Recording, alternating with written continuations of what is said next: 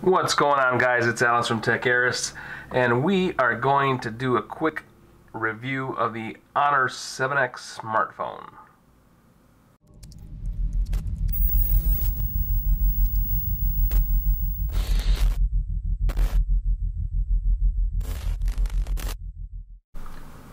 Welcome back guys. We are looking at the Honor 7X smartphone from Honor which is owned by Huawei and uh, this is kind of like their budget line, a mid-range um, offerings that they they give up here. And what you see uh, here in front of you is what comes in the box: the uh, USB cable, the wall wart, uh, the phone itself, obviously, uh, quick start guide, SIM removal tool, and uh, it does come with a, a TPU case. Huawei and Honor tend to give those. they're kind of cheap, but it's better than nothing. so that's what's in the box. No big deal, no big whoop. Get that stuff out of my way. And we'll jump in on the phone, which is right here. And uh, we got the red variant. And it actually is a very nice uh, looking device uh, is in terms of color. I love the black on red. Um, I didn't think I would, but I really do enjoy. Uh, I did enjoy using this. I did enjoy the color. Uh, it's unlike uh, the iPhone, the red version of the iPhone, which has the white front, and I'm not too wild about that. Um, Huawei did go, I mean, excuse me, Honor did go with an 18 by 9 aspect ratio on this thing, uh, which is pretty much what most flagship phones are going with now. So you do get that, which is kind of cool. Um, let's just take a quick look around the phone here. Uh, here on the left hand side, hopefully you can see that in focus. That is the um, SIM card slot, micro SD slot. Uh, on the bottom uh, is your headphone jack and your speaker. And in the middle there is your micro USB port.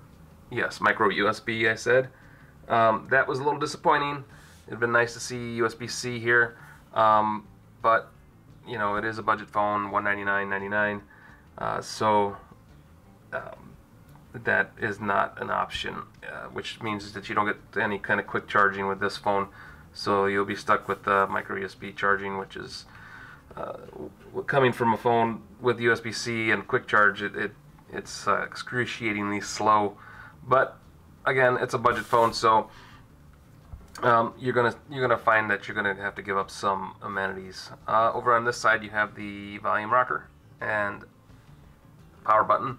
I do wish the power button was textured, uh, kind of like the Huawei Mate 10 Pro, um, which is really nice. I actually have right here that uh, it has um, a textured power button, so when you're reaching over and you're not uh, looking, you know which button you're actually touching. And you, I suppose you can tell too with the uh, um, the size of the uh, actual button, which is which. But it's all always nice to have that little texture there. Uh, microphone up at the top there. Nothing, well, just a nice red back, but uh, fingerprint sensor, which is really fast. Um, Huawei tends to make some pretty, really, pretty nice fingerprint sensors, and this one's no exception. It, it's really a great fingerprint sensor, especially for a budget phone. Uh, dual camera setup. Um, which I believe is a 16 megapixel and 2 megapixel in the back here. Um, no optical image stabilization here, which is a bit of a bummer. Um, that OIS really does help with pictures and and not having that here is kind of uh, it it's a ding against the phone, but again, budget phone there's not much. You know, th there's going to be some sacrifices made, and and for under 200 bucks, uh, this is what you're getting. LED flash, and then the antenna lines, uh, a la iPhone 6, 7ish look, um, and that's that's what the phone looks like. It's uh, it's a really nicely designed phone for a budget phone. Uh, 18 by 9 aspect ratio is really nice.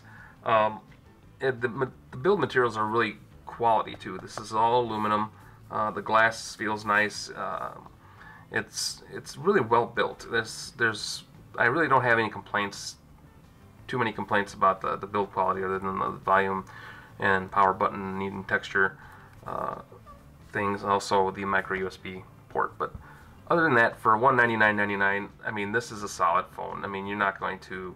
Um, uh, somebody looks at you with this phone, they're going to assume you have an iPhone or something similar. So it, it's a really well built phone for 199 and um, you know, I think uh, it it, it, it, holds value in that in that respect. Uh, the display is uh, a little better than in full HD. Uh, it's uh, 20 1080 uh, by 2160. because of the 1080, I mean, excuse me, because of the 18 by 9 aspect ratio, there's a little more more pixels. Um, so, but it's a really really nice display. I, I, don't have a lot of complaints about the display. It it's um, it's colorful. It's not oversaturated like a lot of uh, other displays, um, but it's also it's really kind of toned down. It's not um, uh, overly colorful. It's kind of just neutral to me. Uh, you can change the, the, color temperature and the settings and make it a little warmer, a little colder, depending on how you like it.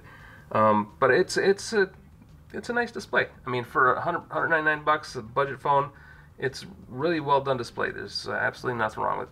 Um, this is running Android 7.0. Uh, don't suspect that it's going to be upgraded to Android uh, 8.0 anytime soon, if ever. Uh, but 7.0 is still a good OS, um, and it is running EMUI over top of Android 7.0 and that's probably not going to be everybody's cup of tea but there's custom launchers you can download and fix that situation with. Um, I don't mind EMUI. I think people coming from the iPhone will be okay with this as well. Um, the, the whole user experience is iPhone-esque. You can choose to, uh, in the settings, you can choose to have an app drawer or you can choose not to have an app drawer, kind of like the iPhone, where uh, the iPhone tends to uh, just put everything on on your on your home screen here. So um, there is no app drawer in the iPhone. So you can you can choose that method here as well uh, with Honor 7X. Um, so uh, no complaints with Android 7.0. Be nice to see Android 8.0, but it's not more than likely not going to get it. Um, EMUI runs nice, smooth. Uh, internally, the setting settings and, and all the the, the native uh, apps and, and such run great. Uh, I did find some lag in certain apps, especially Facebook. Uh, I saw a lot of lag and jumpiness in the Facebook app. Uh, a lot of pausing and uh, unable to scroll. Um, oh, I got to log back in, but we'll do that later. Um, so that's something to be aware of. It's not perfect. Uh, there are there are there are some software hiccups in some of this, so the performance isn't uh, completely, you know, flagship. I mean, you're getting a budget phone here. It's uh, a Kirin 659 octa-core um, CPU and a Mali T830 MP2 uh, GPU on this. Uh, you're not running, um, you know, Qualcomm processors on here. Um, so I mean, it, it's expected. Performance-wise, I think it falls where it should for a budget phone, um, and and that's pretty much what you can expect. The cameras on this thing, they're decent. Not anything to write home about. Um, you know, uh, th that's all I can really say about the camera. I mean, it's not Pixel 2 quality. It's not iPhone 10 quality. It's not Mate 10 Pro quality uh, or, Galaxy S9 quality. I mean, you're talking budget phone again. So, you know, pictures are sometimes a little washed out. Um, you know, it takes a couple shots to get a really good shot because you, you know, without the OIS in there, or EIS for that matter, um, sometimes you get a little shake and you get a little blurriness and so it they're for for the price range, it's a good camera. Uh, uh, could it be better? Sure, it'd be great if it could be better, but then you pay a little more. Um, I honestly don't think that most regular users are going to mind, especially at this price point. some of the um, shortcomings of the phone. Um, it really does well for what you're paying for. Uh, the speaker is really tinny. Uh, again, you're you're paying less than 200 bucks for this phone. It's a weak speaker. It's great. It's fine for YouTube videos. It's fine for you know just watching um, occasional spoken word videos. I mean, if you want good sound, you can. I mean, it has a headphone jack, which is a plus for some. You can plug in your headphones and get better sound that way. So, um, speakers tinny, not anything to write home about, not anything spectacular. Uh, you know, call quality reception is good. Um, phone calls were spot on. Uh, didn't have any problem speaking to anybody, and they didn't have a problem hearing me. Um, so it was it, that's all spot on there as well. Um, battery life is actually not bad. Uh, you know, battery life is going to vary on how you use your phone. Uh, you know, there's just you can people can run battery life tests all day and night, but it's going to be different for everybody. In my case, I generally get up at five in the morning, and I generally have my phone on between on me and being used between five o'clock in the morning and 9 p.m. at night. And the phone, this particular phone, got me through the entire day. it generally had between 25 and 10% depending on what I was doing throughout the day. Uh, you know, watch YouTube videos, play a few games here and there, a lot of email, a lot of uh, web browsing, uh, a lot of social media, um, a lot of picture taking, uh, video taking, you know, um, hangouts, uh, uh, streaming music, streaming podcasts. those are the type of things that I do.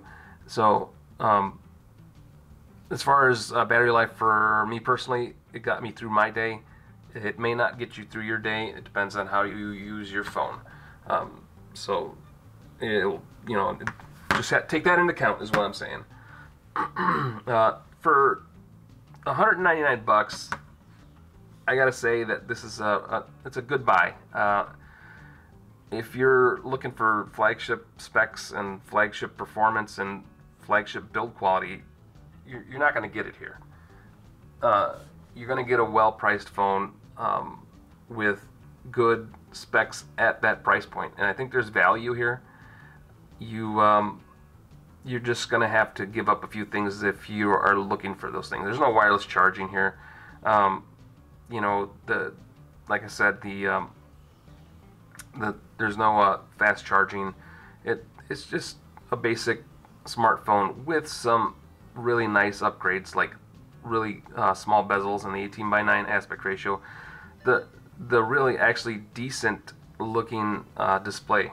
So I mean the phone isn't for everybody, but for those looking for a phone on a budget, a smartphone on a budget, the Honor 7X is really a, a, a good buy. For $199.99, I don't think you can go wrong with it. Um, I mean, if you if you have the money to get an iPhone 10 or your uh, Pixel 2 or your Mate 10 Pro, you know that's what you're going to be looking at. This is a phone that I think would do well for those who j- just can't afford any more than this, and uh, I think that they'll be happy with it. So there you go. That's the Honor 7X. The full written review is in the link below. So if you want to read my words on it, uh, go ahead and take a look at that. Uh, I tend to write words better than I do speak on camera. So uh, hit the link below, uh, check out the website, and uh, we'll talk to you soon.